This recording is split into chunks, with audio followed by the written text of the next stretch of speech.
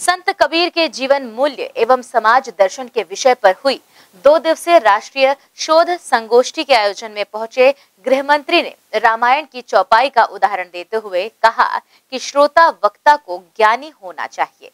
आज़ादी की पचहत्तरवीं अमृत महोत्सव के तहत दो दिवसीय राष्ट्रीय शोध संगोष्ठी का आयोजन किया गया, जिसमें सेठ आर सी एस कला एवं वाणिज्य महाविद्यालय दुर्ग व हेमचंद यादव विश्वविद्यालय के संयुक्त तत्वावधान में संत कबीर के जीवन मूल्य एवं समाज दर्शन के विषय में संगोष्ठी का आयोजन किया गया।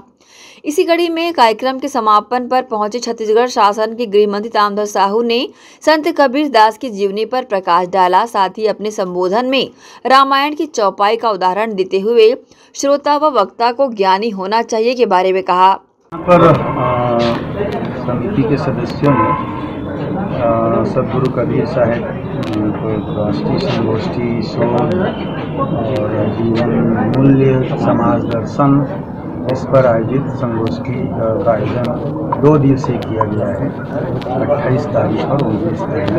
मुझे भी इसमें आने का अवसर मिला खुशी हुई मुझको वक्ताओं से भी सुनकर और हम लोग ऐसा मानकर चलते हैं, चाहे भारतवर्ष हो या विश्व हो, जितने भी धर्म संप्रदाय की बातें हैं, उन सबसे अलग हटकर कबीर की वाणी, जिसे हम लोग कबीर पंथ कहते हैं, कबीर का रास्ता तो उसमें चलना, कबीर की वाणी के अनुसार अनुसरण करना तो जीवन की धन्यता के साथ समाज में जो विकृतियाँ हैं, बुराइयाँ हैं उससे भी अलग हो जाएँगे, दूर होगा।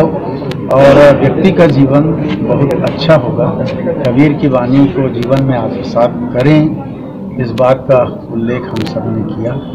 और इसी पर आज की संगोष्ठी। बहुत लंबे समय से शोधपीठ की मांग चल रहा है। सरकार जब जैसा निर्णय मांग रखा गया है।